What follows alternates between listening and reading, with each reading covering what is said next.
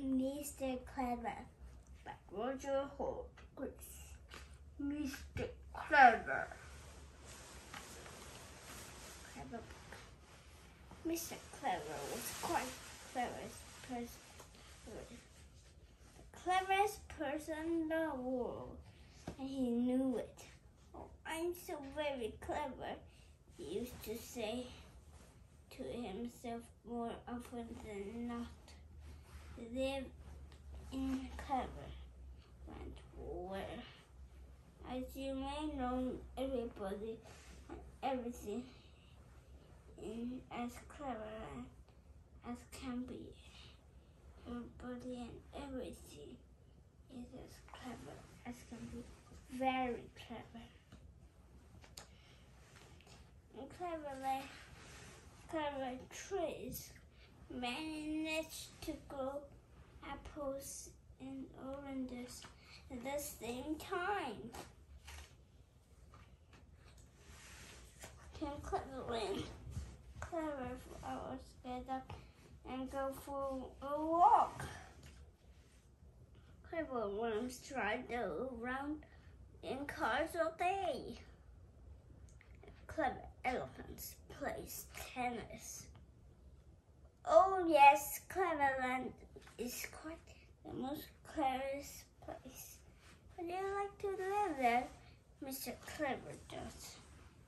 Oh, I'm so very, very clever to build such a clever house. He used to be to go around telling everybody. One morning, Mr. Clever was awakened by his special Mr. Clever alarm clock. Not only he did it wake you up by real but it also switched on the light and said good morning and made a cup of tea and showed what the weather was going to be and and told you the time and showed you the date. It also was it also whispered carefully while it was it was doing all that. Mr. Clever yawned, got up, washed, cleaned his teeth with his special Mr. Clever toothbrush, squeeze toothpaste the brush out of the handle. I went downstairs for breakfast. He popped stuffed bread into his special Mr.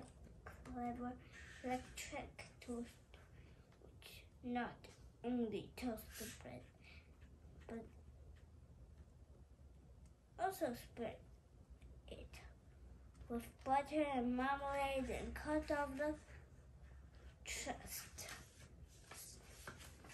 After breakfast, he went for a long walk and extraordinarily long walk.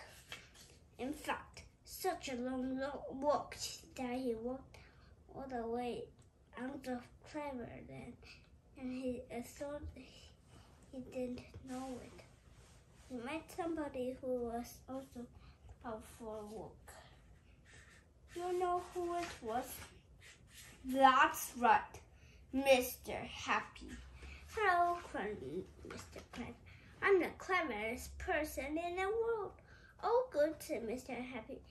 Then you must be clever enough to make me a, a really good joke to tell me. He laughed. Jokes make me happy, he explained. Mr. Clever's face fell. I don't know any jokes, demanded. Well, that's not very clever of you, is it? He said. Mr. Happy went off. Mr. Clever went. And do you know who he met next? That's right, Mr. Greedy. Hello, cried Mr. Clever.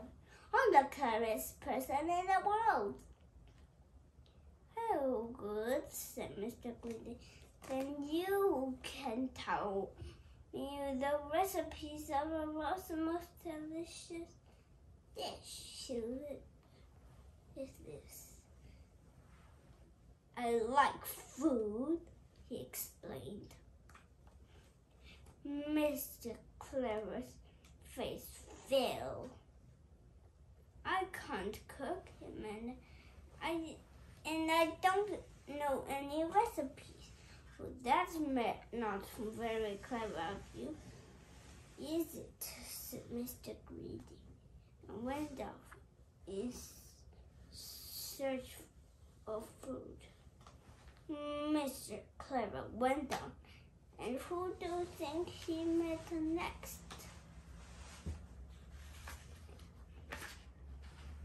Yes, Mr. Forgetful. Hello, Mr. Clever. I'm the cleverest person in the world. Oh, goes Mr. Forgetful. And you can tell me what my name is, he smiled and jingled. I've forgotten, he explained.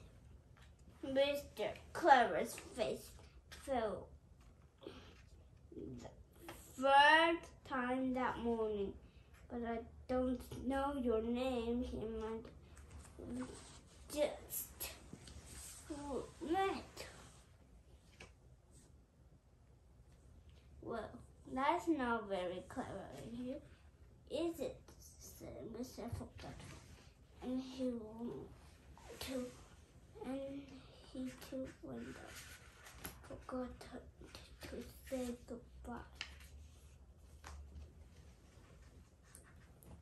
And so it went all, on all day. Mr. Clem couldn't tell Mr. Sneeze the curl of coal. And he couldn't tell Mr. Small how he could grow bigger. And he couldn't tell Mr. Jelly the secret of being brave was. He couldn't tell Mr. Topsy Turvy how to walk the round way right. I mean the right way around. Uh, not very clever day. Not at all. Not a bit. As by now he was feeling anything that is for clever person. Mr.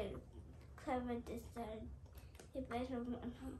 He cast a pair of worms who were having a chat. Who's that? asked one one. That, replied the one, is Mr. Clever, the cleverest person in the world. On his way home to Clever, the restaurant said, He can't be that clever, he replied. He's going the wrong way. The end. For look at real please subscribe and thumbs up. We'll you soon. Thanks. Yes!